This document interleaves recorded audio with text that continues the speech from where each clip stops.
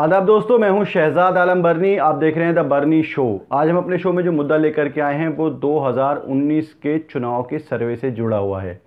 दरअसल, India Today group और Axis My India की ओर से एक सर्वे कराया गया, जिसमें लोगों से पूछा गया कि वो 2019 में अपना प्रधानमंत्री किसे देखना चाहते हैं। इसमें मायावती से लेकर अखिलेश यादव और अखिलेश से लेकर के मौजूदा प्रधानमंत्री और राहुल गांधी सभी के नाम शामिल थे। उत्तर प्रदेश से लेकर के सात स्टेट्स में सर्वे कराया गया और ख़ास तौर से आज का जो हमारा फोकस है वो उत्तर प्रदेश पे है, क्योंकि उत्तर प्रदेश की 80 जो संसदीय सीट हैं, उन सभी सीटों पर ये सर्वे कराया गया और इसमें तीस हज़ार चार सौ लोगों ने हिस्सेदारी की। 15 सितंबर से लेकर 19 सितंबर तक ये कार्यक्रम चला, जिसमें इंडिया टुडे ग्रुप और एक्सेस माई इंडिया की तरफ़ से लोगों को इंटरव्यू किया गया टेलीफोनिक और उसमें पूछा गया कि क्या वो अपना प्रधानमंत्री किसको देखना चाहते हैं? क्या वो नरेंद्र मोदी को देखना चाहते हैं या राहुल गांधी को देखना चाहते हैं या अखिलेश यादव को देखना चाहते हैं या मायावती को देखना चाहते हैं अपने प्रधानमंत्री के तौर पर? तो ये सब ऑप्शन उसमें थे और लोगों ने जो अपनी प्रतिक्रिया दी है, उसमें उत्तर प्रदेश में अगर देखा जाए तो नरेंद्र मोदी को एक बड़ा झटका लगता हुआ दिखाई दे रहा है। दरअसल 48 प्रतिशत लोगों का कहना है कि वो नरेंद्र मोदी को फिर से अपना प्रधानमंत्री देखना चाहते हैं। हालाँकि इस सर्वे पे कुछ सवाल भी उठाए जा सकते हैं, क्योंकि ये सर्वे जो है इलेक्शन से पहले आया है और हो सकता है कि इसको एक कैंपेन के तौर पे भी लिया जा रहा हो। क्योंकि राहुल गांधी को उत्तर प्रदेश में 22 प्रतिशत वोट मिले हैं, मायावती को 9 प्रतिशत और अखिलेश को 7 प्रतिशत। जबकि अगर वोट बैंक का हिसाब देखा जाए, जो पिछली बार वोट्स मिले थे, समाजवादी पार्टी को और बहुजन समाज पार्टी को, अगर इन दोनों के मिलाया जाए तो करीब 45 प्रतिशत वोट इन दोनों को मिले थे।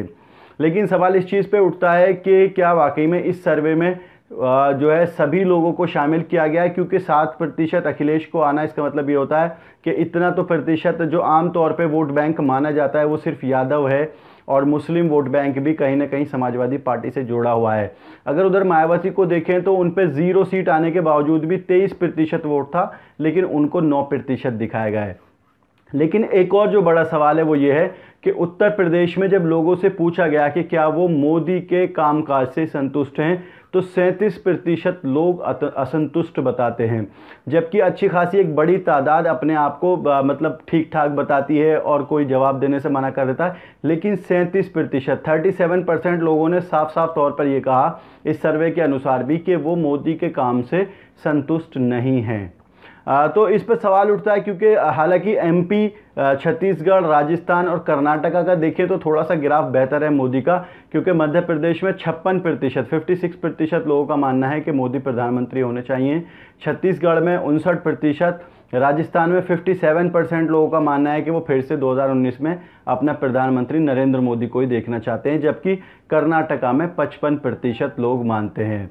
हालाँकि अगर देखा जाए तो कर्नाटका के चुनाव में जो बीजेपी का हाल हुआ, वो आप सबने देखा, लेकिन तब भी 55 प्रतिशत लोगों का मानना है कि वो 2019 में मोदी को ही अपना अपना प्रधानमंत्री देखना चाहते हैं। इसको लेकर के एक और चीज़ भी जो आजकल रफेल डील का मामला चल रहा है, उस पर भी लोगों से सवाल पूछा गया तो 80 प्रतिशत लोग ऐसे हैं जो यही नहीं जानते कि ये मामला क्या है।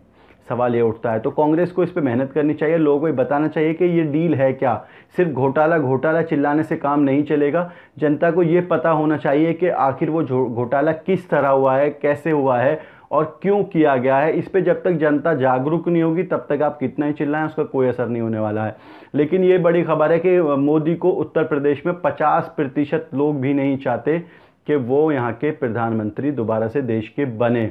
और यूपी से ही होकर के देश के प्रधानमंत्री पद का रास्ता गुजरता है, ये सभी राजनीतिक लोग जानते हैं। लेकिन अगर उत्तर प्रदेश में बीजेपी को झटका लग रहा है, जहाँ पे बीजेपी को किसी ज़माने में तिहत्तर सीट आई थी, उन तिहत्तर में से अगर सिर्फ़ अड़ता मतलब अस्सी सीट में से तिहत्तर सीटें बीजेपी जीती थी, और उसके बावजूद भी अगर सिर्फ़ अड़तालीस प्रतिशत लोग ये मानते हैं कि मोदी को प्रधानमंत्री बनना चाहिए तो ये एक बड़ा झटका बीजेपी के लिए है। आज के प्रोग्राम में इतना ही, लेकिन आपकी राय इससे भी ज़्यादा ज़रूरी है, क्योंकि इस सर्वे में सिर्फ़ तीस हज़ार लोगों के कमेंट लिए गए लेकिन आप जो है वो बड़ी तादाद है और हमारे प्रोग्राम को अच्छे खासे लोग देखते हैं। तो हम आपसे ज़रूर दरख्वास्त करेंगे कि आप अपना व्यू ज़रूर रखें।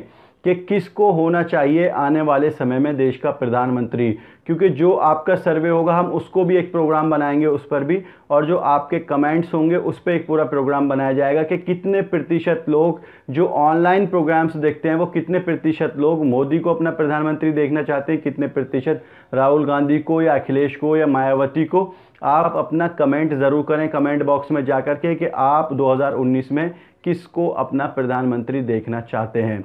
आज के प्रोग्राम में इतना ही। हमारी आपसे दरखास्त है कि इस प्रोग्राम को शेयर करें और हमारे चैनल को सब्सक्राइब ज़रूर करें। बहुत बहुत शुक्रिया।